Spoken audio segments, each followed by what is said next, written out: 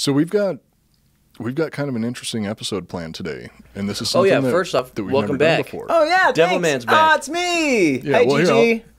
Oh, yeah. Right out the bat. Gigi, we did this just for you, well, and all the other ladies in the audience, because we have never gotten so much feedback from female fans than the episode that we did with you. Oh, I think it's It was hair. it was very very popular. Oh, man. very popular. I'm telling you guys, you are enough lady candy as it is. I mean it. When you went out to the bar, you got some girls having crushes on you, and I said, "Back off. oh, They're, good. they're mine." Good. but well, Well, welcome it- back, Devilman. Thank you. It's a, it's a late birthday gift for me. Um, Happy Now, birthday. i- Imagine that that Joel and I have been been doing the show for a while now. Never got that much of a response from the ladies. One episode with you and our our DMs on the Iconoblast account blew up about you. So you're you're worth more than two of us. oh, that's not true. Uh, He's this- lying, It's, it's nice of you to say. yeah, it is nice. I do. I don't. I don't mind the smoke being blown up my ass. It's vacuous, so there's a lot of room in there. Just keep going. I'm just trying to build you up Why because it, you got why is it like that? Uh, my time in Germany. I don't know what that means. What, what happens in Germany? I'm just making sure that you have plenty of confidence going into this because we've got a very special episode planned today. Where the last time you were on the show was the first time we ever did an episode that I didn't write myself, and today Now we're we're breaking new boundaries. We're breaking We're- down walls once again. we're just fucking swinging for the fences, and you're going to be the one hosting the show today. Yeah. Oh boy. How do you feel So- about that? Are you nervous? Ah, no, not a. Yeah, obviously. Do you want to put these on? It No, helps. that looks so terrible. With Let me see. so- okay. you all can right. take them off. Let's see what he looks like. I looks mean like. it. It's the worst. Gigi, what do you think?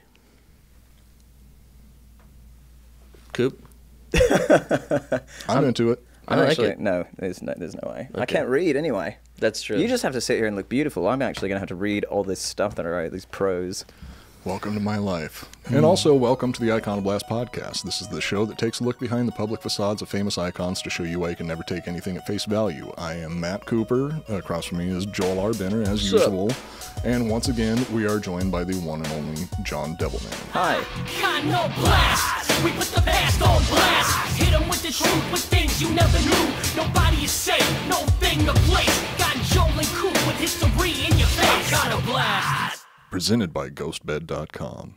So, you know what, if we're going to do this right, I think that I think John should take the hot seat. Yeah, I think he should too.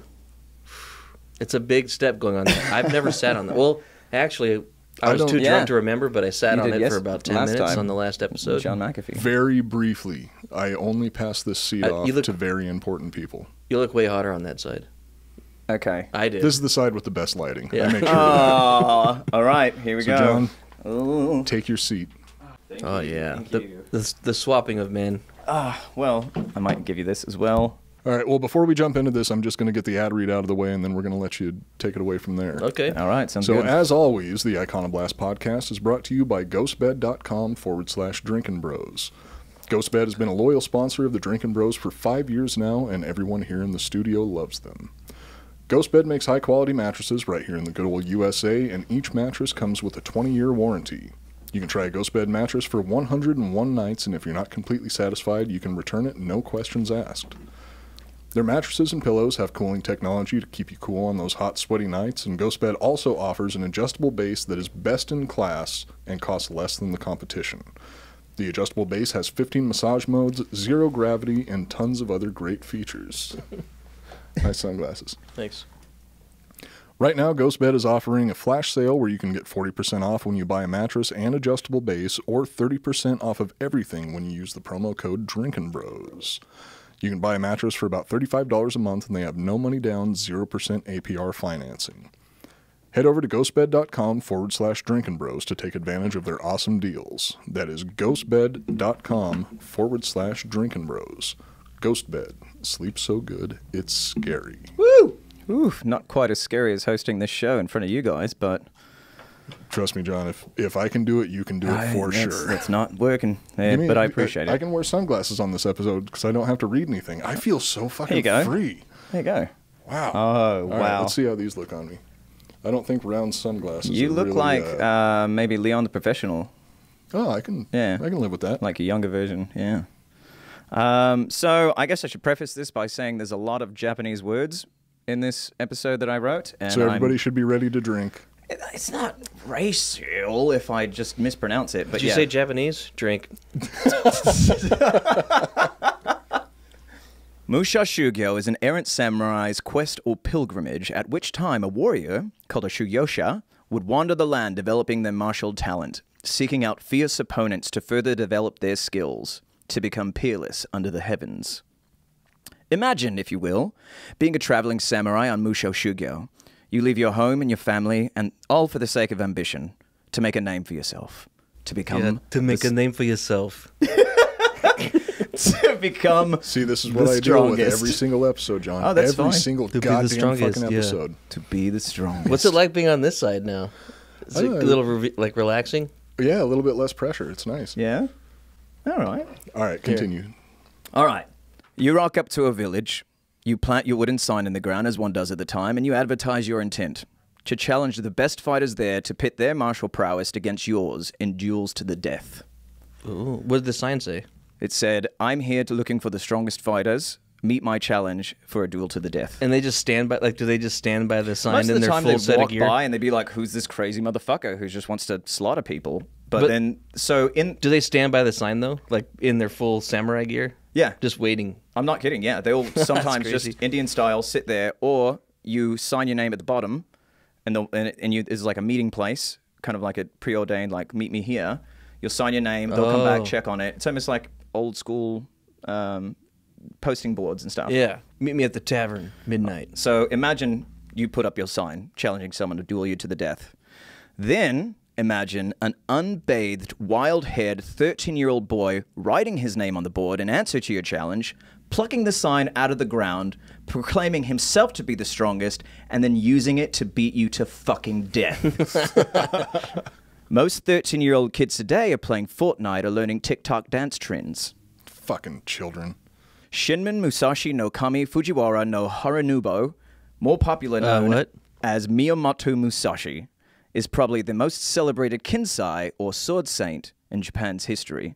Musashi was born in the spring of 1584 in the village of Miyamoto and given the name Shinmen Takeizo. He was Drink. no, it, that, I'll do it. I don't understand what all he right, said. I'll, I'll do it too. You don't understand just because you don't speak fluent Japanese like I do, Joel. 100% fluent. Uh, Takeizo was the son of nobility. His mother was said to be the daughter of a local chieftain who died either during childbirth or left after being divorced. His father, Munasai, I mean, Musashi probably came out of the womb with a sword, so I'm assuming that would kill his mother. yeah, With a wooden sword, probably. ah, Oh, foreshadowing. yeah. Oh, this is like you know a little bit about this. Oh, Oh, there we Drink. go. Drink. Fuck, Joel. You told me before the show that I can't get too drunk or else it's going to be too hard to finish the, the episodes that we're doing. and you're doing shit like that? Ah, I did not. I love it.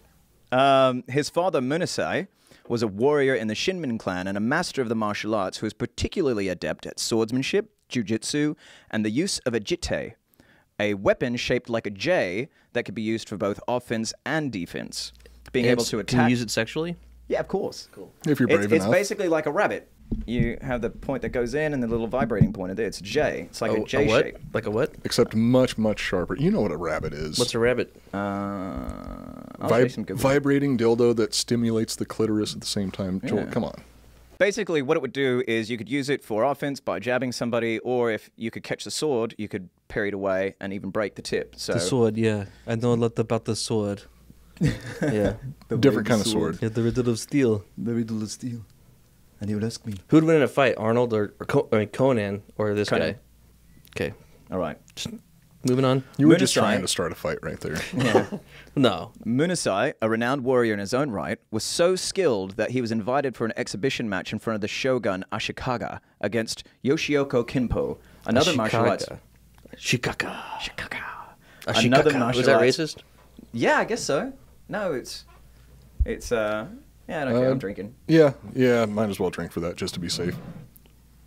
We don't want to let the Because Chikaka down. Is the part of the Wachutu tribe. I don't think they're Japanese. No.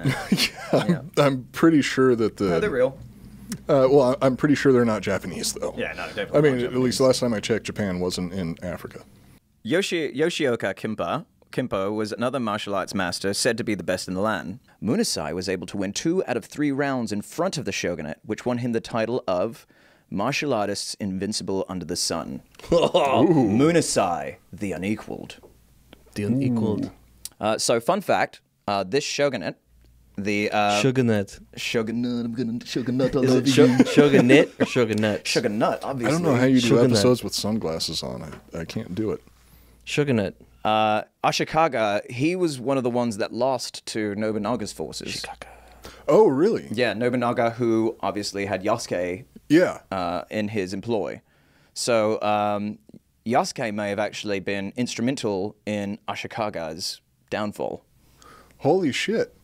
That's an interesting connection. I thought it would be. Yeah, that's fucking awesome. Well, I mean, in, anybody listening to the show, I'm I'm sure they're familiar with our episode about Yasuke, who was the the first black samurai. Uh, not just the first black samurai, he was the first foreign samurai, or first foreign-born person to ever become a samurai. That was documented. Yeah. Which had a lot to do with Nobunaga and his policy, which we can. Yeah, Talk which we'll talk later. about more later. So, uh, Munasai is now the unequal, Munasai the unequal, but that title haunted him. He lived in fear. And that fear extended to his child. Home life for Musashi was not a pleasant one. His father was stern and abusive, and Musashi was flippant and disrespectful. Oh. Mm-hmm. Had a little bit of fire in him. Still, Munasai drilled his martial arts into Musashi, wanting to pass on his knowledge to his heir. When Musashi was seven, his contentious relationship with his father met a head when Munasai threw a dagger at Musashi's head. Musashi barely dodged the projectile, which landed in the wall next to him. He then retrieved it and threw it back at his father, who only had time to Holy lift his forearm before being struck in the head. What the fuck? He killed his dad? He tried to. His dad threw a fucking throwing knife at him, and then he threw it back. Fuck you, dad. Yeah. Was it like a shuriken or something? No, it was a uh, it was a throwing knife. Was a, it a, a Did it have the ring on the tip where you could Uh, spin I don't it? believe it was a kunai. Uh, so once again, Kunai, things like that's what I was these, once things like these, uh, it's it's a story that because this is the Iconoblast podcast, we have to look at with uh, wary eye. Um, Oh, the- okay. yeah. So a lot of these accounts, because it's taking place 400 years ago, um, I'll even talk about that more where we don't necessarily know how accurate these stories are. Yeah, it might be a little And- apocryphal. Right. People kind of embellishing things after the fact, which, yeah, that, That that, seems to be the case with But- the majority of history. But right, so um, the story though it seems to be told on multiple accounts, but that doesn't mean it just didn't get released into the world and people just ran with it. Yeah. Uh, but the story of Musashi uh, having a having a knife thrown at him, and also his his uh, relationship with his father was definitely a volatile one, um, and he did leave. He so after this happened, when um, Musashi ran from his childhood home and he never came back. He escaped to Harafuku village, where After, after that? yeah, he he used that as like um, a moment to get the fuck out, and he was comfortable living. He ra- he raised himself, aside from the martial arts training and the food that he was provided by his family. A lot of the times he was spent in the mountains, so he'd pick up twigs and just practice what his father taught him. How old was Uh, he when this happened? This was seven years old. Holy shit. Fuck. And he was already, but you'd also have to understand if you And he the- threw a fucking ninja star into his dad's head? Or I it mean, was a knife. fucking knife. Yeah. It was a, like a throwing knife. Was that racist? No, Assuming Well, I it was think- a ninja star because they're Japanese. well, no, they would have ninja stars. Okay. Yeah. Well, ninjas are Chinese, aren't they? Uh, yeah, no, ninjas. Well, So both, Drake. both. Uh, yeah. Yeah, okay, yeah. At that point, we have to It wasn't drink. racist, but it was uh, insensitive, right? Mm-mm. Or just. It's actually I'm a very retarded. good question. Like, so here's the thing: a, a lot of Japanese and, and Chinese, there there was a lot of intermingling of, I- and they and they don't like this, but even the Japanese language, a lot of it comes from China. Okay. And um, a l- there were ninjas in both, although in China they were probably called something else, but they definitely did employ them. Um, the thing about ninjas and, and samurai, a lot of the times, ninja were viewed as dishonorable. They were a necessity, so you needed ninja, but uh, I remember one quote to die a ninja's death is to die a dog's death. Well, ninjas were were primarily like uh, uh, the equivalent of like modern day insurgents. They, yeah, they? It, they, they were there for subterfuge. They snuck about, uh, stabbing in the back, which is very unhonorable. When you go, like most of these, uh, what we're going to talk about in here is there's going to be a lot of dueling in here. And even there, you mention your intent. You go, hey, I'm here to fucking kill you. You down? Yeah, all right. well, fucking let's go then. And that's how it was. It's very like, this is who I am. Here's my name. But you could say also, I'm here to have a duel, but not kill you. Like, I, Yeah. I would like to train with you. Yeah. And that was also normal. yes. Uh, But you would you would announce your intentions Right. beforehand. You Right. wouldn't go up. It, it's uh, it's kind of similar to the well, I mean, maybe not the best equation or best way to equate it, but 69? the uh, no, Oh. everything goes back to sixty nine for you, Joel. 69, dudes. Yeah, uh, similar to how, which also might be, uh, might be a bit of a made up story, but how uh, during the Revolutionary War, the British were still using the the tactics where everybody would get together in a line, Right. stand in and we line, had and fight that way. in the, in the United States. and uh, yeah, the Americans started shooting people from the bushes, and that was seen as dishonorable because it's not a, a stand up fight but then that, that also goes But back also to works. all is fair in love and and war. Right. 69. Yeah. 69. wow. So, uh, at the age of seven, after this confrontation with his father, He Musashi runs from his home to never come back. He escapes to Harafuku village, where the theory has him looking for his real mother, and another one has him staying with his uncle Doran. Doran was a Buddhist monk, once said to walk the bloody path of a warrior, but had since renounced the way of the sword to focus on study and meditation.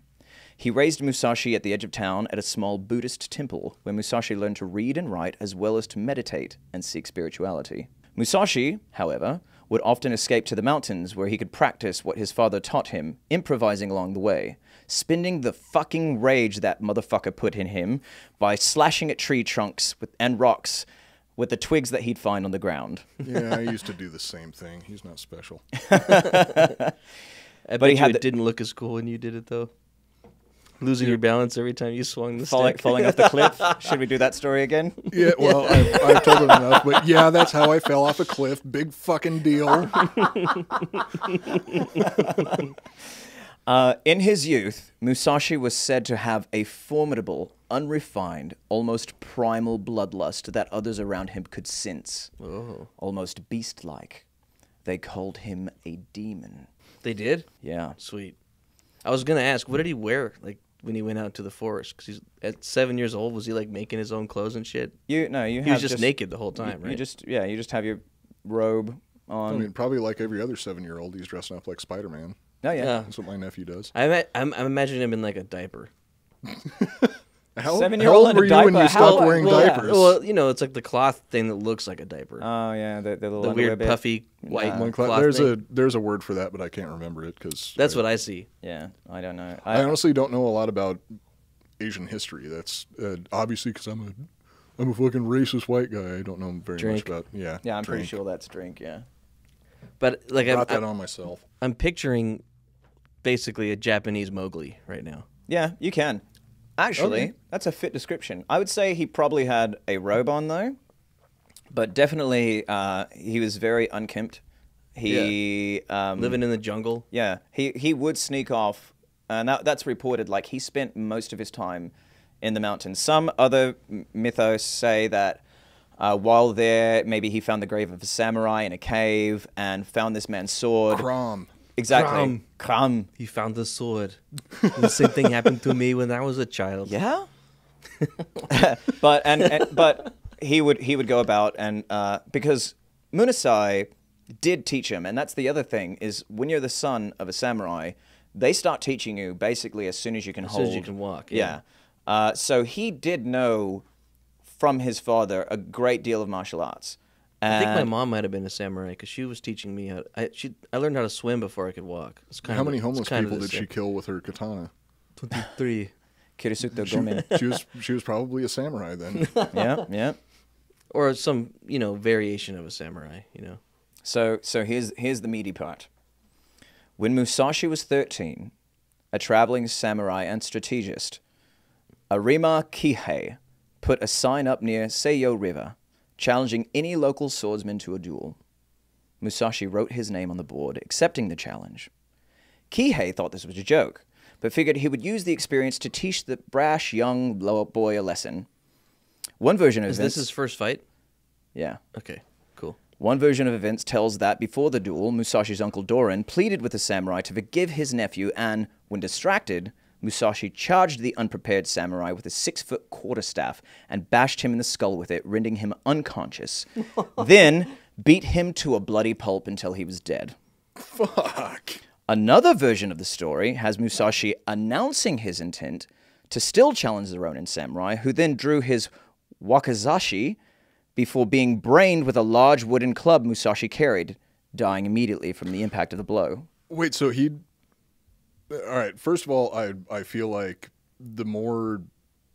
Well, actually, let me ask you what what do you think is the more realistic of the two? That that he just let his childhood angst tank over and and ran up and bashed this guy in the head with the stick, When- or he flat out announced himself and said, "I'm I'm going to fight you." The guy squared up with him, and then lost the fight. I think he squared up with him.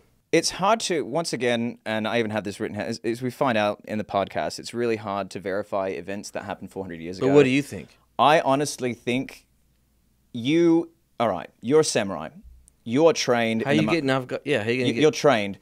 That's what I was thinking. Yeah. If this guy, it would be so hard for one to anyone to get a swing on you. If you saw this kid coming up and he's got a fucking a, a, a bow staff, you know something's going on. Yeah. And and um, so I think the most likely story is him pulling his sword on on Musashi and just getting brained. That that Yeah, seems how- the most likely. How's a little kid gonna surprise a samurai? And and you'll see that there's been it seems like there's a lot of discontent with a lot of people who want to find holes in this story where they try and say that um, a lot of these wins Musashi had done some kind of uh, surreptitious way to get the advantage, which is fair because in the Book of Five Rings, which he wrote later on in life, he does talk about strategy, like having the sun behind you. Uh, there's other things that I'll go into later. I don't want to get into it too much, but I I honestly can't believe if you're a martial artist and you're meeting here for a duel, even if this guy's like, please forgive my son, Musashi would have to come a great distance to attack you within a zone of killing for you. So it's very, very likely that this person did draw his blade with the intent of either disarming or And just didn't expect the skill level exactly. or what just happened. The something savagery. Else, something else that I think's interesting is you said that he drew his wakizashi, Yeah. right? Yeah. Which the wakizashi is like the The small sword. Yeah, the the smaller sword. So that That to means me he was that like, oh, a little. that would make kid. sense. Where he's like, okay, well, this is some little kid charging at me. I'll just I'll just bring out my my little knife. Yeah. Instead of My drawing little his piece- katana So- because they they carried two swords at the time, right? We'll we'll get into that later because that's Okay. something important uh, that I would like to talk about because I know that we're running on time, but I'm almost done with the second page to be honest. Like, mm, we're going- yeah, we're making good time then. uh, so um, we'll talk about the fighting styles of uh, Musashi, the the importance of each sword, and uh, different weapons in general as we go on. Uh, I do believe that um, I do believe he did pull the uh, Wakizashi, and he did have the intent of probably disarming Musashi. He probably didn't take it seriously. Just like if your little cousin or something tries to come up and, and wrestle you with Yeah. you, you don't expect Like- him. To, right? Yeah, I you wouldn't don't expect him to put you in a fucking armbar. Yeah. You know, and then and then like fuck your woman. You know, it's so. Uh, yeah, he probably, in all honesty, didn't take Musashi seriously, and it cost him his life. Killed him. Do you think he bashed him to death after, or was it, or was it one one? Um, I'm gonna go ahead and I'm gonna go ahead and imagine that it he probably did He hit him him pretty times. good. Yeah, he clipped him pretty good, and That would be But- but adrenaline. You're a kid. It's your first fight. You'd be you'd bash him a few and and if and if the story has the Uncle Doran there begging for his his uh, nephew to be forgiven, then you'd also Uncle would come pull imagine the uncle would pull him off. so he probably hit him four times. Then the uncle pulled him off. That's why I think that the uncle might not have been begging for Musashi, and it may have been like a straight on duel. Because maybe if the the, uncle uncle, if the uncle was there and he's there, like, please forgive my nephew. He doesn't know what he's doing. And then nephew comes, bashes fucking samurai, hits him really hard, and knocks him unconscious. You might be like, what the fuck? Get off of him. I'm a Buddhist, by the way. Stop it. Yeah. Uh, but that didn't happen. He definitely killed this fucking guy. So I don't think that Interesting. I don't That think ma- the Doran yeah, that makes sense. I, I think the samurai took this seriously and was like, "Yeah, you want some? Come get some." And And yeah, then he lost. yeah, that was a fucking his last mistake. Fuck. You got too cocky. Three years later, So he's 16. at now he's 16. He's already had two He's tough. duels. He's a he's a man now. He's had two duels since. Each one. So three total. uh, yes. Okay. Uh, at the age of 16, Mus- uh, Musashi had another duel against a more notable strategist named Tadashima Akiyama. The And the- Drink. Are you just doing So this because you want us Arnold, to drink? If Arnold tries to say a name, it's fucking racist. You guys are racist. We're drinking because of that. All right, fair. okay. I was gonna do it anyway. Once again, it is said that Musashi bludgeoned the fellow to death with a wooden sword called a bokken. In fact, you'll find that he uses the bokken for most of his duels. When we were hammered the other night, that's the only reason why I, I said wooden sword earlier is Yeah. because we talked about this a little bit the Yeah. other night. Hammered. He Yeah. likes he likes wood. Well, see, now I have a theory about that. I think the Musashi uses his bokken for his duels um, because, so at, his, at this time in his life, he's like six feet tall, which for Japanese He's standards 16? at the time Six feet tall It's Yeah. 16, and he's Japanese. Yeah. Holy Drink. shit. That's bullshit. No, at Wait, the time, at the time, genetically, that wasn't a big thing because they didn't have the hormones in the food that we have now that uh, that is making everyone big as fuck. Um, s- I'll drink anyway. Well, yeah, because well, I mean, I'll drink anyway because I, I want to drink. But I mean, Yasuke, people they made there- a made a big deal about Yasuke's height. Yeah, but Yeah. he was African American. God But- damn but- it! Now I got to drink twice. Yeah. that is true. Shit. No, you got to drink too. Don't fucking sit around. Don't drink. I didn't say anything. What? Yasuke's tall because he's African American. That's the same thing as you saying that, that he had gigantic balls because he's African American. He did have gigantic balls. I'm sure he did. I'm positive that he did. Look, guys. But it's, it's still apparently and that's racially insensitive. Is I that think, What I do you think we have to drink again? Yasuke did Yazuke Yasuke have giant black balls or not? Fuck yeah. fuck? That's two more drinks. Joel. No, just No, one it's a drink. question. One long drink. Okay, so anyway, going back to why I think he used the bokken so much. The So bokken did is a s- st- is a, It's is a wooden wooden, staff. Wooden It's a sword. wooden sword. It's like a practice sword. Yeah. So I did some research on this. Wait, is that the one that's a bundle of reeds, or it's a solid? No, it's a solid. Uh, so it's Oh, something okay. that he Is could it actually. sharpened? No, no, it's not. It's just a It- it's a blunt club. wooden weapon. It's Yeah. a club shaped like a katana sword. Which, by the way, I just got to jump in real quick. Did you know? Did you guys my know that penis. the the single most effective weapon in all of human history is just a stick Makes sense. for Because you the find it anyway. for the longest period of time, and even compared to uh, like nunchucks, Not compared to my fucking Glock 9 millimeter. compared to a stick. Well, uh, of course, if you compare it to a Glock nine millimeter, it's. What about the chain gun I used in Terminator 2? By the way, I'm not a fan of Glocks. I've been telling you that for years. I, I don't like the way that they recoil. Sorry, Glock fans. Ooh, you're gonna get some hate mail on that. Oh no, I know, dude. The Glock community. Yeah, Really? they don't. They don't. Oh, yeah. People that like Glocks, they fucking love Glocks. I love Glocks. See. I don't know get- get anything about how, Glock how good they us. are, but I just like the way they look, and I've always wanted. Them. I feel like that's the majority of Glock fans. Well, I'm telling you, you live in Texas. It's easy enough to go and rent one at one of the gun ranges over here and Yep. have a go. But We'll do that after we get drunk and do a couple of shows, and then Oh, we'll go shoot some Glocks. Let's go hang out with my parents. They they've got like thirty plus guns. nice. Do they have Glocks? Oh yeah. Will they give me one? No, they're, they're not going to prison.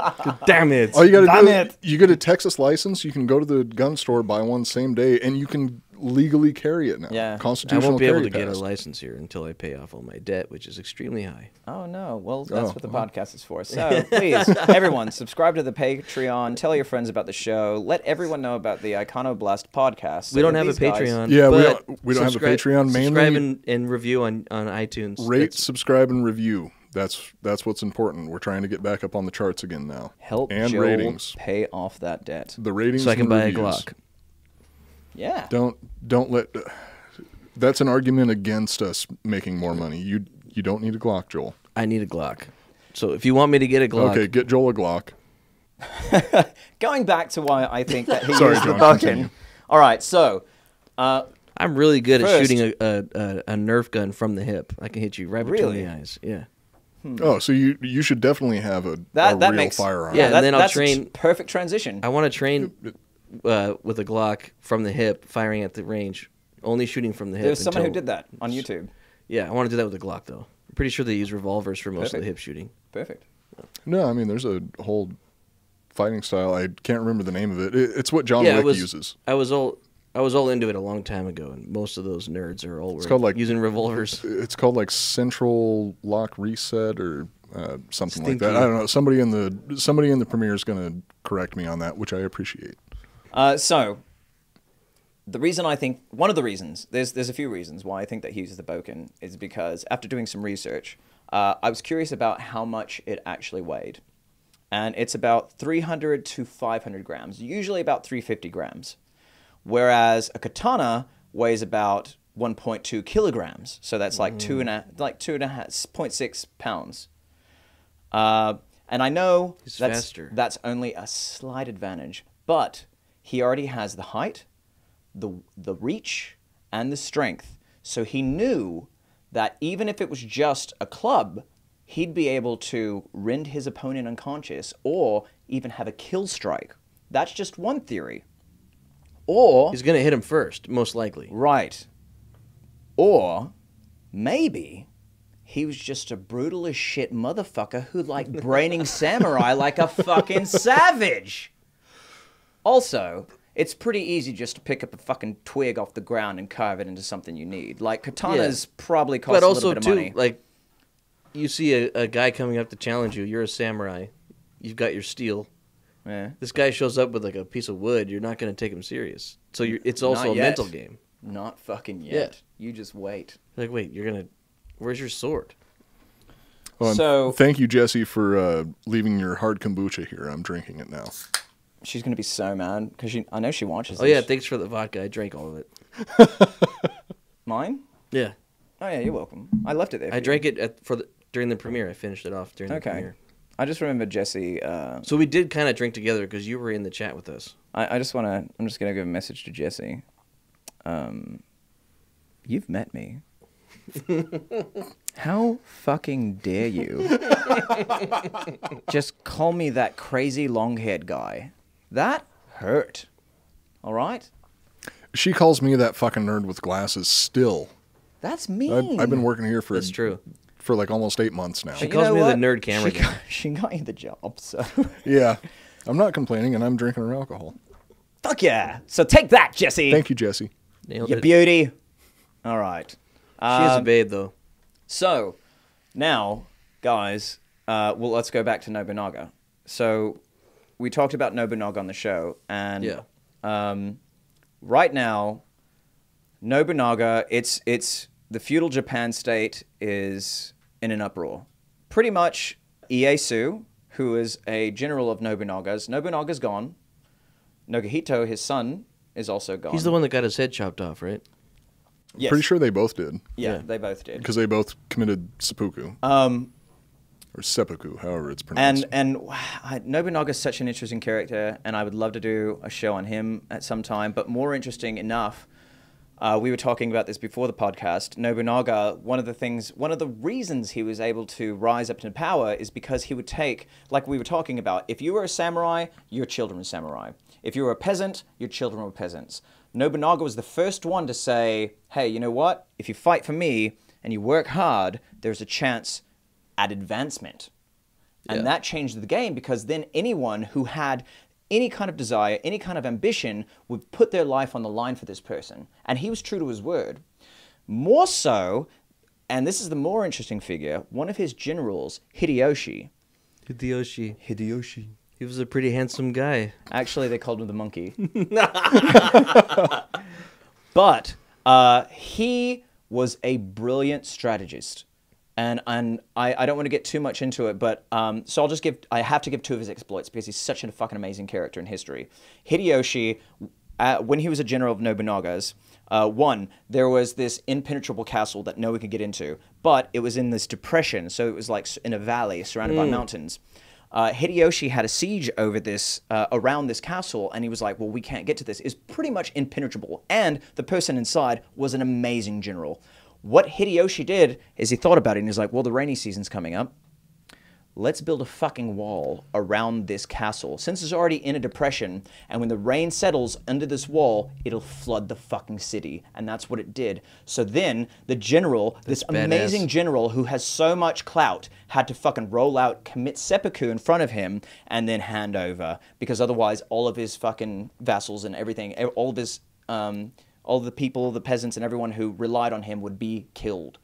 But he was badass enough to know he had to yeah. sacrifice himself. That because that's some cool, GS too. shit. He was like, "You fucking beat me," but that's the honorable stuff that I was talking about. Yeah. Like you Yeah. have that. You're like, you have bested me, and here I am. Here's my guts. You win. Please protect my people. That is your job. All of these, and this is the other thing that was so crazy is like the shogunate is basically, and they revered him as a god. He was, uh, he was a divine presence and he basically just let everyone run rampant. He's like, "You guys figure it out. I'm the shogun. That's me. You guys figure it out. The strong survive." Yeah.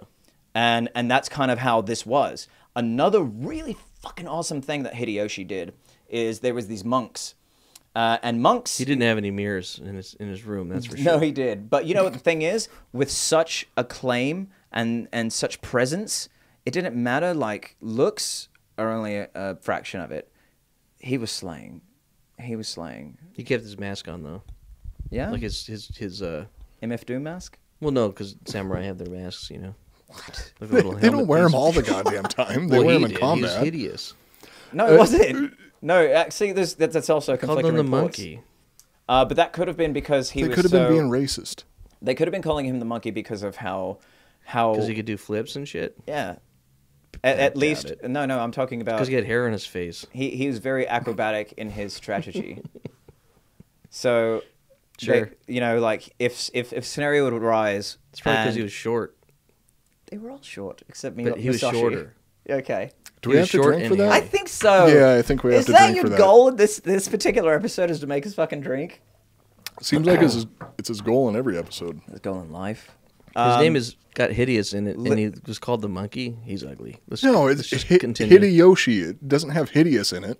Yeah, it's true. But it makes you think of something ugly. By the way, there were so many exploits that he did that were that were incredible. These are the two that stand out to me the most.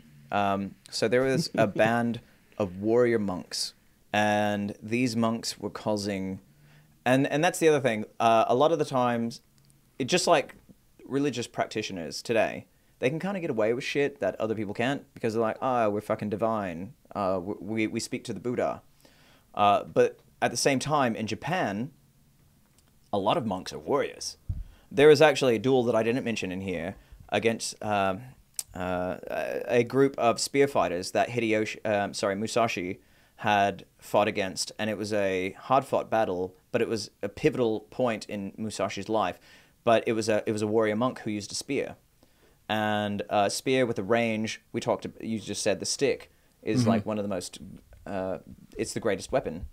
Well, now when it has a, a pointed tip t- to it, it's even more dangerous. And Yeah. Musashi figured out a way to beat that. I didn't want to go into it because we were pressed for time. But now imagine you have a congregation of these amazing fighter monks, and Hideyoshi had The to find a way to defeat them. So they lived on a mountain and they started a war with these guys. They're like, well, we got to fucking take these guys out. And they gave them such trouble. But Hideyoshi, being the, and I'm serious, this man was a genius. He came up with the strategy. They're on a mountain in a forest. Burn the fucking Set mountain. that fucker on hmm. fire. Oh yeah. And he fucking annihilated them. Killed them all. Yeah. That was Fuck, Hideyoshi. that's and some he- crazy and- and shit, actually. He's fucking incredible. That's called thinking outside the box. It really is. Hmm. but you see, of those stories. But but the thing about that is, and what's so interesting about that is Hideyoshi was a peasant. He wouldn't have been in that position had Nobunaga not made that decree that anyone with ambition, drive, intelligence, obviously, in Hideyoshi's part, could be in his employ. Yeah. So what we were talking about before the show that uh, I actually said we needed to to talk about on the show was the the connection that I got out of that was it's very similar to uh, Julius Caesar's uncle Gaius Marius uh, going through with the Marian reforms, which the Marian reforms changed the Roman army from being a group of the nobles all coming together. He opened it up to literally everyone on the Italian. Well, eventually it was everyone on the Italian peninsula Yeah. which greatly increased their military strength Yeah. and arguably led to them becoming a, a much greater military force because instead of having just the richest people uh, richest people in the country fighting for them Yeah. it just opened it up to everybody i mean similar to what we're doing now where I was about to any, say, any yeah. jackass can can join the army i was in the fucking army Yeah. so any jackass can join the army. Some of them rise to the top. I, I didn't personally. But yeah, when you open it up to everybody else, you're just That's so you're, sad. Oh no, it's not. I, I wouldn't be here today if I. If And I'm I, glad uh, you are. I, I'm well. I'm on the fence about it. But, Are you? But no, opening it, opening it up to everybody, it just it increases the. Uh, Okay. Wait, how? For me, because I felt bad. Yeah. Oh, uh, Yeah. He was racist against America. I was koopy insensitive. that's the only type of racism that I don't like is racism against America. God damn it. Okay, okay. Fuck off, Patriot. Fuck off. But yeah, if you open it up to everybody, it's just increasing your pool of soldiers. I mean, it's it's really the the most logical thing to do. You want to have a bunch of people fighting for you, so why not open it up to to everybody? Yeah, yeah, uh, and that's and that's what was so. Um, that's why it was so great that Nobunaga did this, and it was actually Nobunaga who set forth the unification of Japan. He basically set forth the path to end the feudal era of Japan. Um, Hideyoshi was the actual one who unified Japan, but he died. It wasn't. It, he wasn't assassinated. Whoops. He wasn't assassinated or anything like that. He just died, and then of course that left a vacuum that other people tried to fill. One of those people was his son, and uh, it was then Ieyasu who started a war and felt he was the one who should be the next shogun of Japan. And that started the this all started with the battle of Sekigahara. And legend has it that Musashi actually made a name for himself at the Battle of Sekigahara, which was the largest and most important battle of Japanese feudal history that led to the establishment of the Tokugawa shogunate, which is Ieyasu. And that lasted for 250 years thereafter. Fuck. Musashi, however, was on the losing side of that battle, but had escaped defeat of the Western forces unharmed. Musashi would still have been about 16 years old at the time. However, the thing is, there is no hard evidence to say that Musashi was actually present at the battle or not, because, like I said, this is 400 years ago. But there are some accounts, like the one in Musashi Yokogame, that says Musashi's achievements stood out from the crowd and were known by soldiers in all the camps At 16 years old, at 16 years old. This that's is a different time. Insane.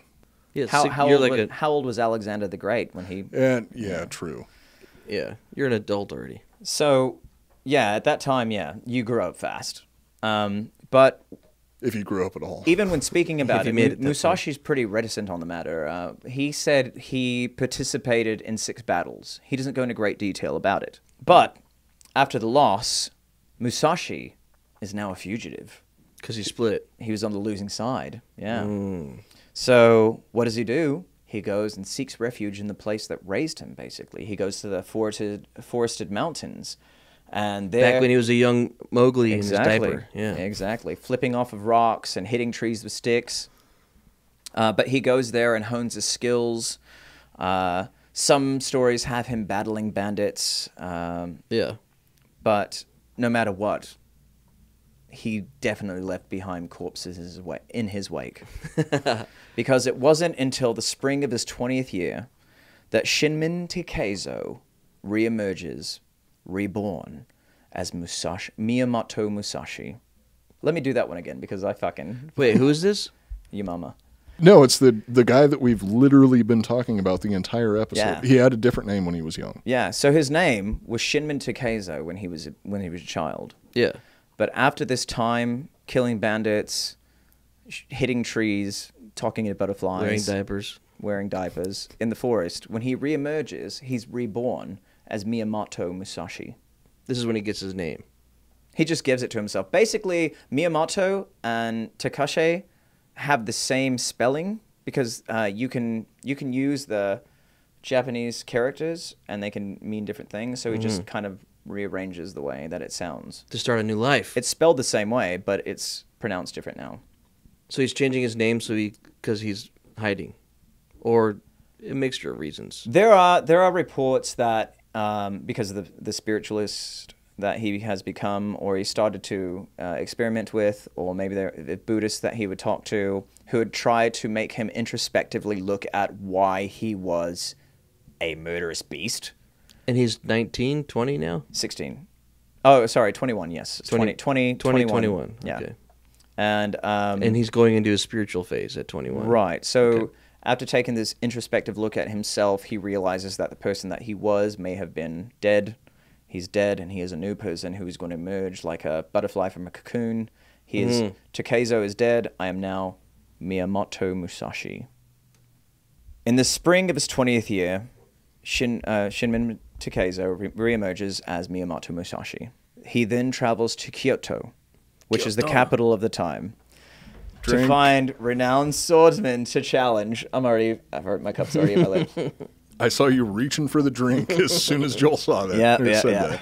So at this time, the Yoshioka School is the most talented around.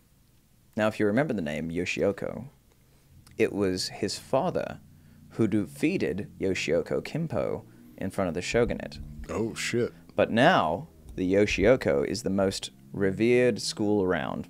They were the military instructors to the shogunate itself. Shit. No one who challenged them would come away without sustaining some sort of serious injury, and, as a result, no one had been foolish enough to do so for quite some time. But, Until Daddy came back home. ah, no, because Miyamoto Musashi was no fool. And Oh. he was prepared to die, but he wasn't just going to throw his life away. In the winter of 1604, Musashi, armed with just a bokken, makes his way directly into And the that's school. a wooden stick. a wooden mm-hmm. sword, makes his way directly into the school and All challenges. sticks are wood, just so you know. I can make a stick out of out of bronze if I want. It's true. I mean, I guess it wouldn't really be a stick; it'd be a rod at that point. Well, if you made it look like a stick. Okay, was that? Check out this bronze stick. No, no, you Was just that- go, hey was boys. that I'm just- this is just me. oh, okay. Well, I was just wondering why you were drinking. 'cause You I can thought- drink on the show without Yeah, being what- racist. yeah, I- yeah. Wait, no, Okay, maybe well- we should make it a rule that you can't drink unless you're oh. racist. Well, holy shit! This is this is You gonna. ruined me. or you have to be racially insensitive. You don't We're- have to be racist. yeah, do you want to drink? Here we go. All right, thank you, ah. John. Okay, no more drinking unless you're insensitive to races for the rest of this episode. okay, this episode. This is going to become a clan meeting real quick. Oh no! That was was that racist? I don't know because the moment's out and I'd have to pour another one. No, it wasn't then. I can pour you a drink while you read this Oh, next be- part. Would you like me to? Please make it heavy because I'm a strong guy. A happy happy? Like a happy half? Give me the mixer. Uh, with the strawberry right here. Cinco? What the hell did you get yourself? You're gonna have a hangover, bud. That's true. Continue, please. In the winter of 1604, Musashi, armed with just a bokken, makes his way directly to the school and challenges the head, Yoshioka Seijuro, right there out of the blue, just like that. You have this dirty, disheveled country bumpkin come into one of the most prestigious fighting schools in the country and issue a challenge to the head of it. That's like that's like a slap in the face, right? Yeah, that's very rude. Very Like- disrespectful. Yeah, the sheer And he's fucking, in his early twenties at this Yeah, point. Yeah, he's 20. Jesus. The sheer fucking nerve, right? Yeah. The fucking audacity. Thank you. You're welcome. Do you know how many battles he had been at? It was uh, 69. 69. Okay, so sixty nine. There 69 was four battles total by battles the time. that he admitted to. I thought it was six. So he had had about, 69. Uh, the duels. he'd had about, I think he'd had about four duels at the time, and then participated in the battle that he lost. And it was said that his achievements were they stood out, and everyone in the camp knew who he was. But that doesn't say how many people he slew.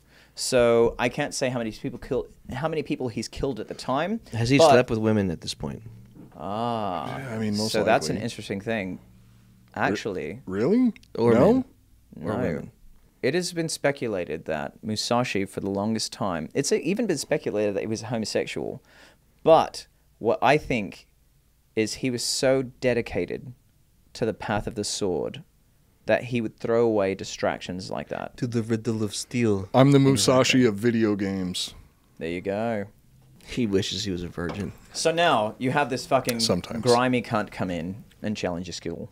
and he's asking for the head of this the school that teaches the shogunate. You can't fucking give him your master, but at the same time, to just ignore that this country bumpkin came up off the fucking street and challenged you, to ignore that would be like, uh, It's, it's he's got some weird. I mean, you'd, it would you'd- put your school's reputation yeah, in you'd have question. to you'd have to teach him a lesson. You'd have to.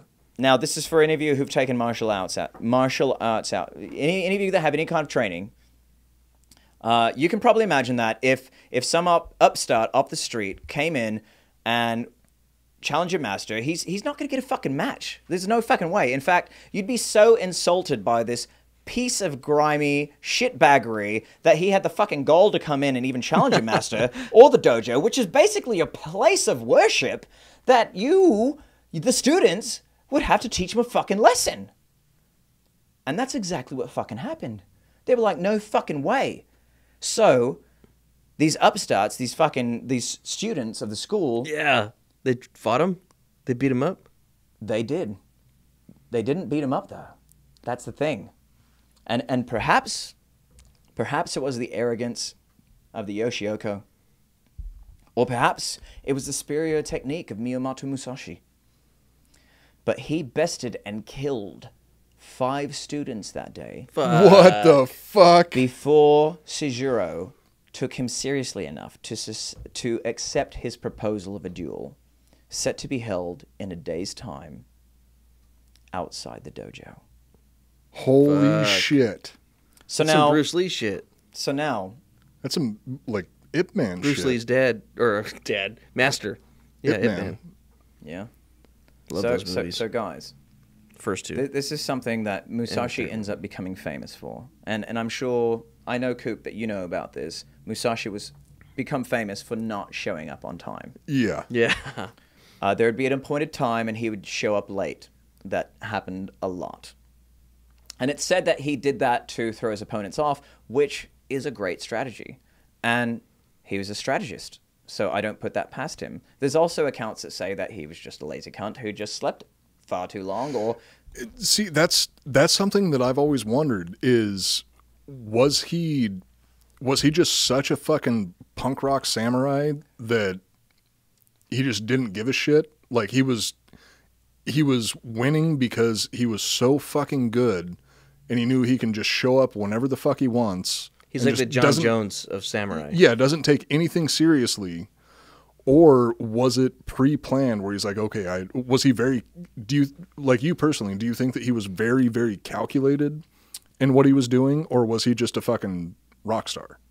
Well, he's known for this, right? He's known for showing up eventually late. and- this is this is this would be Not one yet, of his first this is like his taking his his step on the maid stage before this and here's here's the other thing like one of the stories that um there's a popular manga called vagabond and this is how I first learned about Miyamoto Musashi. It's taken from a novel also written about him that sold over 170,000. Wait, true story. First first time I learned about Miyamoto Musashi was from a tattoo on on a girl's back. Shut up.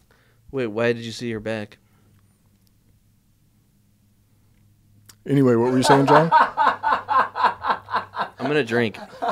What? Wait, that's No, not- no, Well, I mean, that's no, against yeah, the rules. Oh no no no no! Ah, fuck. now we all have to drink. That's just that's Drink. cheating. Mm-mm. Okay, here's the other thing. How's that cheating? That was racially insensitive. Yeah, what I did. because Yeah, it was, you want but us you- to drink. Here's a new rule: you can't cheat. That was a cheat. You That's know that not was cheating. a cheat. You were culturally insensitive just because you wanted to drink. Okay, fine. Had nothing to do How with the did game. you Nope. See the nope. tattoo no, on the no, back? no. He's doing that so we drink. No, that doesn't. drink? It's Wait, your, so you don't want to drink? No, John, you're It's you're, your in, podcast. I can't. you're in the captain's chair. Okay. Make no, the call. Then put your drink down, Joel.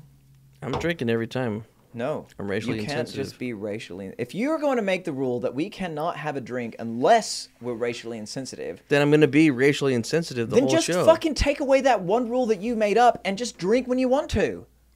That's not as fun. I've been doing that my whole life. drink. Damn it. You're both drunk on power. So, um, so anyway, like I was saying, Her name was Julie, by the way. um, And she had. I don't know who this is, but I How wish I- just were you guys showering or or like how did, did you were It's you a long massage story. It was, therapist? it what was, was, the? it was during Chuck Hank and the San Diego Twins. It was a long fucking story. I've heard of that movie. What? God damn it! I already got myself Is this in a trouble. sexual for- act? No. That's what I, I didn't think it was because you've I'm a never had sex. okay, look, You can't. Hey, that- you wait, just wait, wait. you just fucked up. You drank without. look. For the sake of what is going through right now, w- let's get that out. Let's not put that in. That sounds No, terrible. he- Nope, that's horrible. I don't.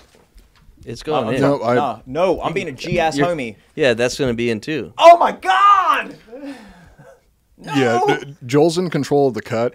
Ah! I've kind of come to terms with Look the at fact me. that I'm scratching like a crackhead. It's terrible. This just is the good shit. No, I want to help the homie. I want to help the homie. No, I'm being serious though. Coop wasn't having sex. He was the massage therapist on the on the on Chuck Hank and the San Yeah. Diego Twins. How did Josh Barnett's shoulders feel, by the way? oh, very firm, Yeah. very very firm. Yeah, yeah. So when you were saying he, she had a uh, a, a, You meant a he. tattoo. You Okay, meant I'll come Josh clean. Barnett. I'm talking about Josh Barnett. Josh no, Barnett and I Josh had Barnett, if you're listening to this, he has a grappler Baki tattoo on his back. Uh, Josh does listen ri- to the show. right next to Josh, the Miyamoto Musashi hey, tattoo. By the way, oi, what the fuck, Magnus? Read my script already. I want you to be in Space Vikings. It's the only it's the only person I can figure to be in space. Does he listen to the show? Yeah, Oh fuck, he probably doesn't remember me. quick little side tangent. I just meant that he meets. I've got like a tattoo on the inside people. of my wrist of a very, very obscure character from the see. Apogee video me. game. That's not Dig, Dig Dug. Who the fuck is that? No, very obscure Apogee video game. Very first video game I ever played in my life. One of And mine too. Nobody, One of the first. nobody has ever been able to identify it. I, I don't know. Maybe you're, you're having a It hard looks time like seeing it someone from wearing there. a football helmet. It is. It is. It's a character called Commander Keen. Oh, I haven't heard of it. Oh wow, he knew it. He knew, he's the the only person that just apropos of nothing out of nowhere was like, "Oh, is that a Commander Keen tattoo?" I was like, "Yeah." He's like, "Oh yeah, it's an old school Apogee game. I, I loved that." I like, Holy fucking Josh Barnett of all people Yeah, was hey, the one that Have you listened hey. to Josh on podcasts or like? No, And I don't. I don't much He's- listen to podcasts. he is he's hyper quick at speaking, and he's. Dude. I think that he's a genius. Josh, Josh Josh, Barnett is hey, for Josh, sure a genius. Uh, I would love to play D and D with you, and fight you. He plays it. He will kill you, I will lose but it'll feel miserably. No, no. Actually, I just this is ah, this is why I love Miyamoto Musashi. This is why I love stories of this era because mm, there's You a fight to thing. learn. There's a thing. Yes, it doesn't matter if you're going to lose. Here, your life is on the line, which takes it to a new level. But now we have this thing where we're like, but it's not always that way. You want to duel. You want to duel stronger people because that makes you stronger. Yeah, and it teaches you about yourself. Defeat teaches you about yourself. There's so much that you can learn from having being humbled, and and that's why, like I was uh, when I we said talked about this the other night. Just like when you, if you, well, just getting in a fight in general. Yeah. If you just end up in a fight with someone, you probably end up best friends. Best friends. Worst case scenario, you're going to learn so much in in, in a ten minute situation. Yeah, there's so much life experience in a fight, and to have someone that experienced, who's who's had so much experience, yeah, it would it would just be amazing to get my ass beat by Josh Barnett. yeah, we've all got kings. When you try sometimes. it's, it's like a shot of you being dropped on your head in slow motion.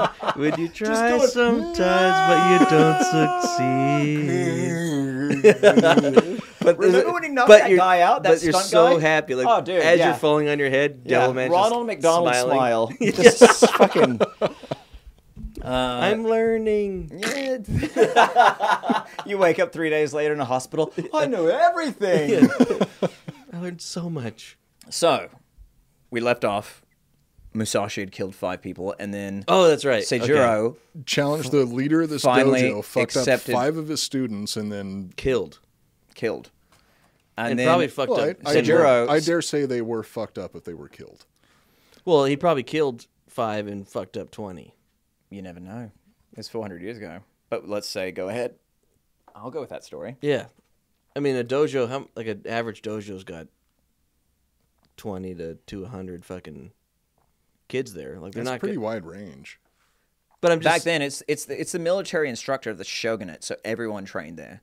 Like they were like, this is the everyone in the land knew about this place. This was the fucking spot. In fact, they were in Edo because they were trained in the shogunate's army. So there could have been five. They were they they were like uh, uh like American Top Team or Shoot Box or something like that. Yeah, they were yeah, like yeah. huge. Or the Gracies. They were like huge fighting like everyone who wanted to get good at the craft. And that was a big draw to people at the time was like the way of the sword, even though the way of the sword. Yeah, the way of the sword. yeah, no. yeah, yeah. The sword. Um, even though at the time, and and because Japan had been unified, um, So actually this is this was the start of when, um, like you see the Last Samurai with the like, hey, we don't need samurai anymore, we got guns and stuff like. Guns were present at the time. Th- This was Samurai this was used happening. guns. Yeah, uh, Yeah, they did. guns were actually a little bit more common for samurai in combat than Mm-hmm. than swords were. At, at yeah, at this time, Th- this was the time where it was like this this this shift, but still. And you see it in like you see it in modern stories too. You see it in like Street Fighter when Ryu is like traveling the warrior's path. Why do you fight to find that answer? I don't know. I fight to learn. This was very much still a very big thing, and it's still a prominent theme throughout stories worldwide. Um, we fight to learn about other people. We fight to learn about ourselves. We fight to learn about the experience, life or death. There's so much that we can learn just from bowling, bowling up your fist and getting punched in the face. Not by, it's it's strange, but but it's true. We Yeah. can be best friends with someone we just were in a fight with, and be buying each other It's drinks. not the direct punch in the face that gives you the knowledge. It's the it's the recovery, the thought, the process that it forces you into. yeah. Yeah. So, um, Where were we? well, where we were at is how late Musashi was to a lot of his events and how he was famous for it. He became famous for it. But this is like the first big, like like I said, he was setting, setting his foot on the main stage, and um, he showed up to his duel three hours late. Three hours late. Now, some G, people dude. say this is this is to put his his opponent at a state of unease. Oh, dude. Some People, people, being say, late piss you the fuck Oh, off. dude, that makes now sense. Now imagine three hours late and you're going to kill this guy for just killing five of your students.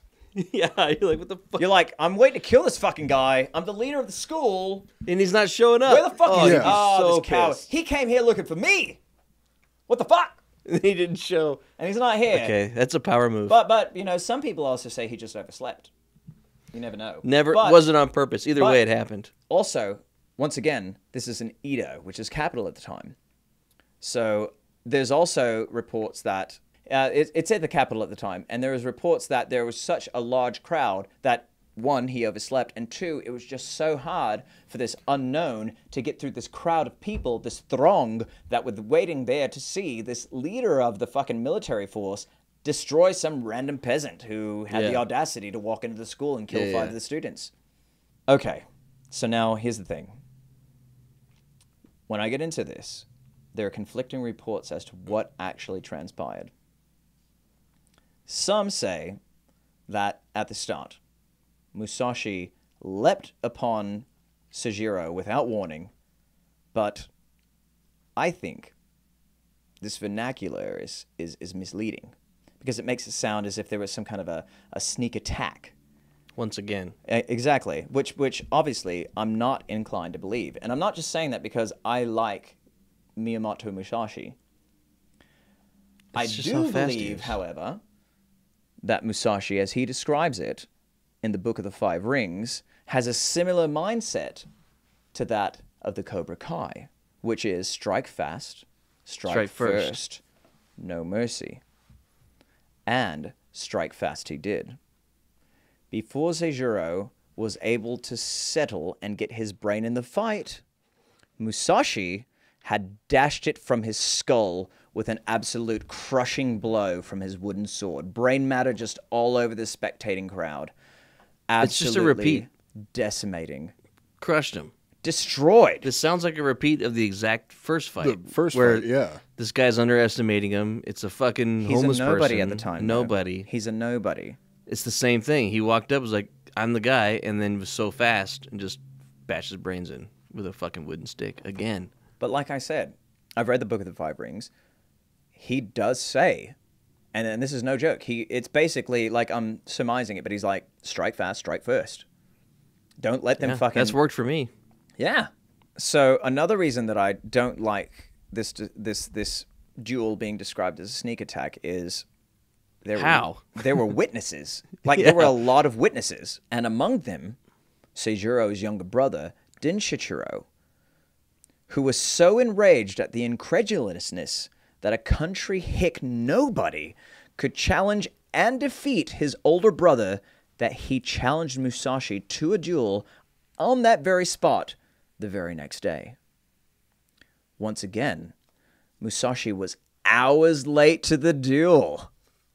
However, once it started, it was Denshichiro who struck first, but Musashi locked him up and wrestled his wooden sword away from him, throwing him to the ground and beating him to fucking death with it.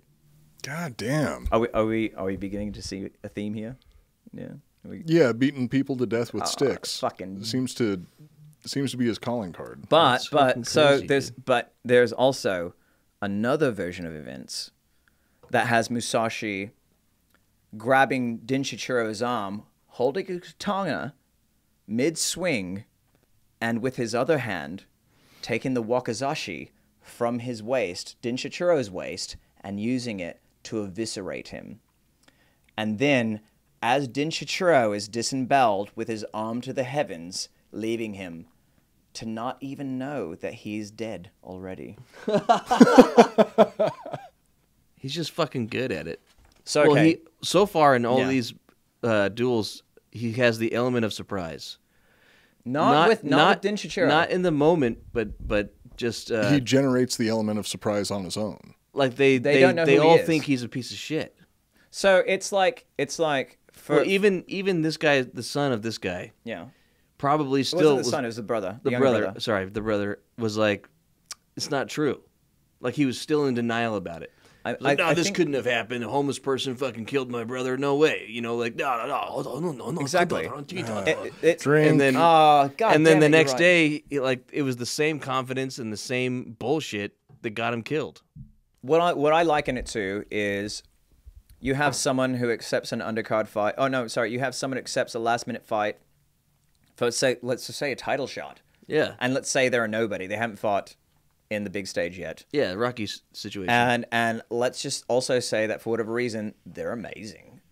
And when they come, the person's like, "Oh, this is just an undercard, or it's a nobody, and whatever. It's going to be an easy fight." And that person Yeah. decimates the fuck out of them. That's exactly what it would be in today's standards. right. Let's so just killed them both. He killed the brothers yeah, of this massive. yeah. Let's. I mean, seriously, let's put it, let's put it in perspective. Like, think about it. You're the most powerful school in the land. Yeah. You're the instructor to the shogunate. And some unknown hillbilly, caked in fucking dirt with twigs and shit in his fucking hair, comes up off the street and bludgeons two heads of your school like they were Floyd Mayweather beating one of his girlfriends. yeah. Fuck Floyd Mayweather. Call back. So he just. No, so no. what happens now? Does he get to No, run think the about it. Think now? about it. Think about it. No, think about it. Your reputation, your renown, and your financial stability, probably above all, your honor, are in question. So, what do you do? What do you do? Put put the new guy in charge. No, you probably do. You got to kill the- him. You have to do. You the got to most- kill him. You have to do the most honorable thing of all. Because remember, this is samurais. Yeah. You have to do the most honorable thing of all. So what the fuck do you do? You hold an ambush The most honorable thing. Yeah. Obviously. honorably. yeah. honorably, you hold an ambush. Yeah. they invite him to a duel. Now, this one was be away from the public eye at the Drooping Pine of Ichijoji. A match against Yoshioka Matashichiro, which is Denshichiro's son, Who is? a 12 year old nobody. Okay. What they failed to mention was that every single member of the Yoshioka clan planned on taking part of this duel. Whatever it took, they were parading Musashi's dead body back through the capital city that day. Shit. The night before the appointed duel, all 100 members of the Yoshioka school camped out at that location, which lie along the main road from the city to the mountains Musashi had planned on taking out of it. If he tried to sneak through, there was no way he would be able to avoid detection. At the drooping pine of Ichijojo, 100 armed men Itchy Jojo. That's like an old friend of mine. Drink. That's when I laugh He underwater. was, he was so itchy. God Damn it.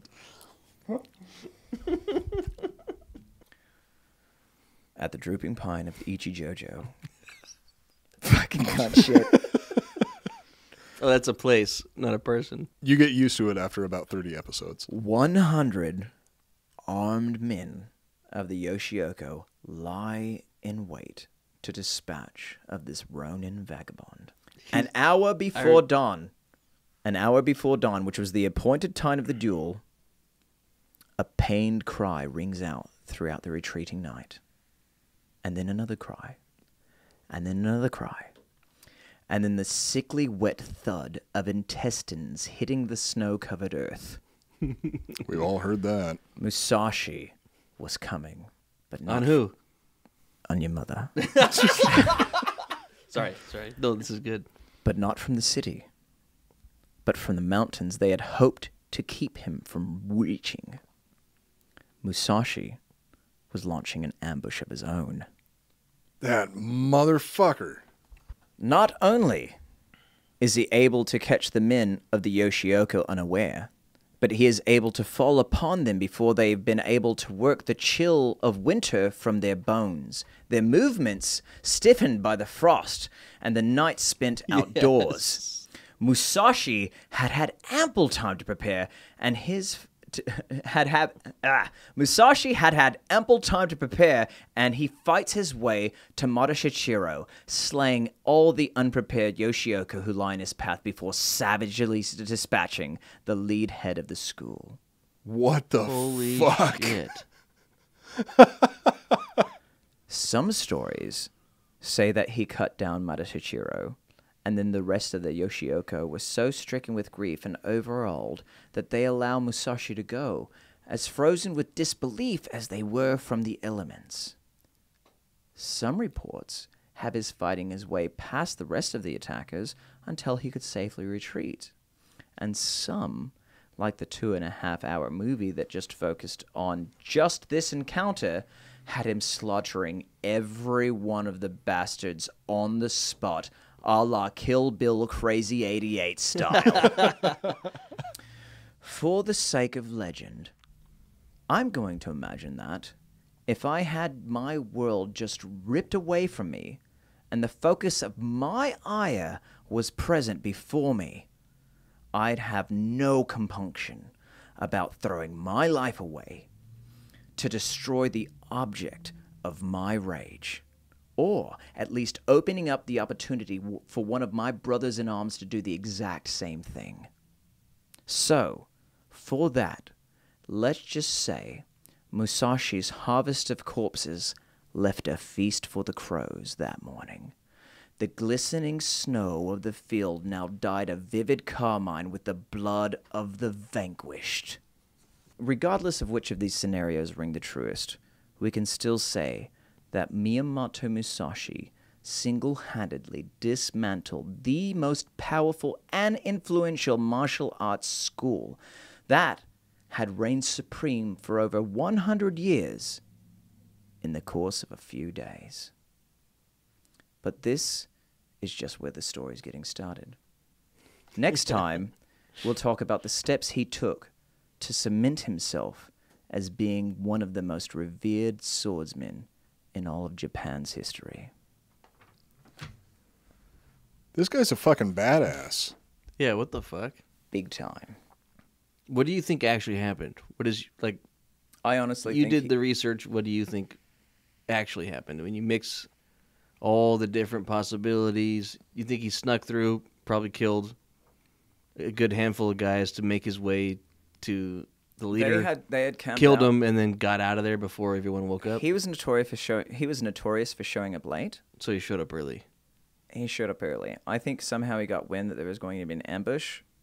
Um, once again, I'm going to go off of I'm going to go off a popular story that I just I just want to believe, where he spoke to a monk, and he realized that uh, the point of killing it's it leaves such a void behind. There's the- your loved ones.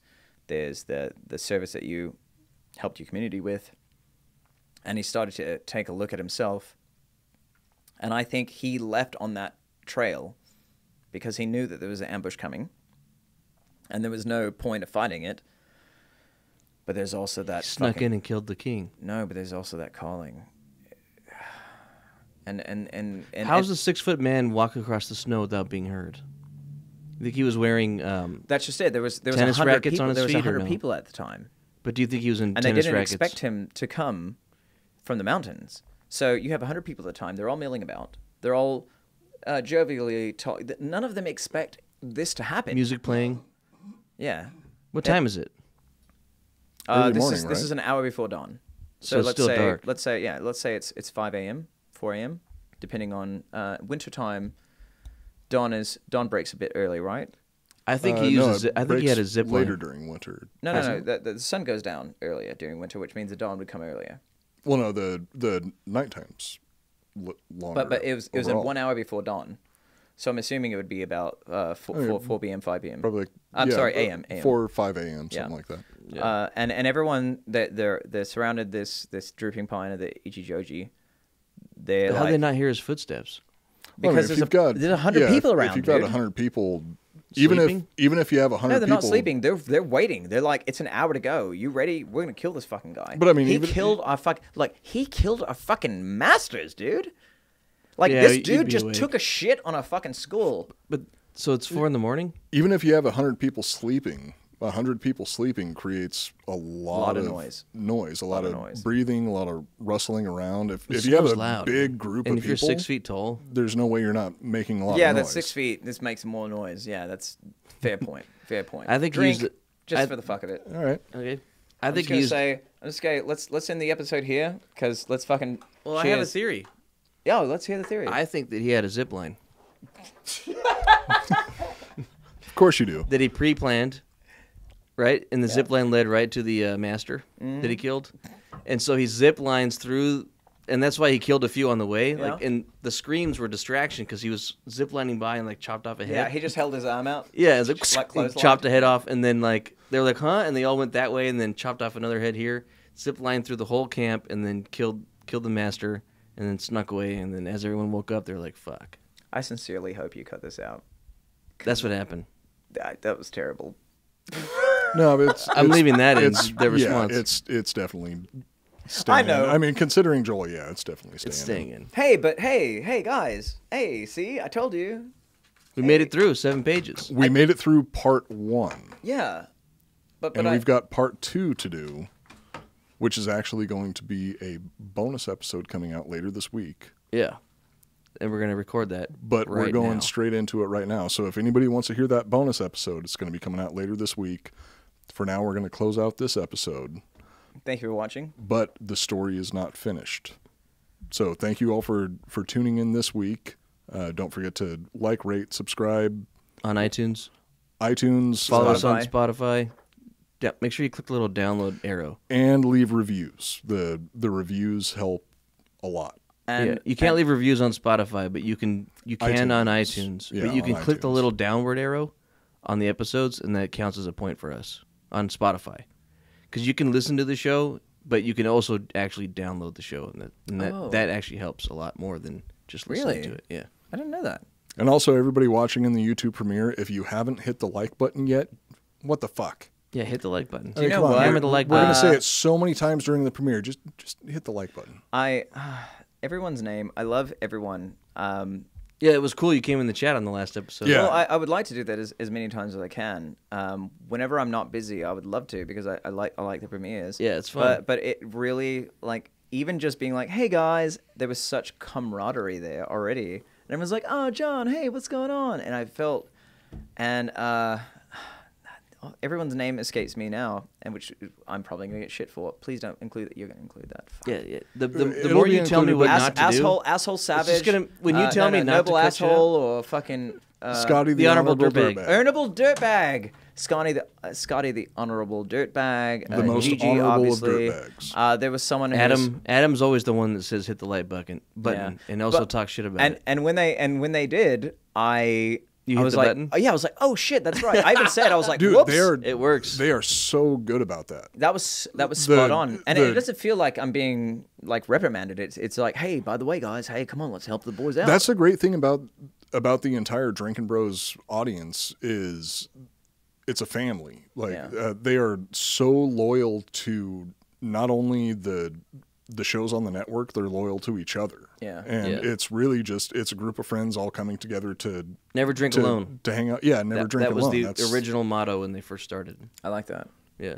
yeah, um, and a special shout out to to my my son Jake. Jake, you're a good boy. I'm proud of you. All right. No, no, you're the host. You have to close it out. Oh yeah. Oh wait, wait, how do wanna- I do that? you what wanna do I take do? us out? I thought I thought I thought that was like, Whatever whatever feels most comfortable.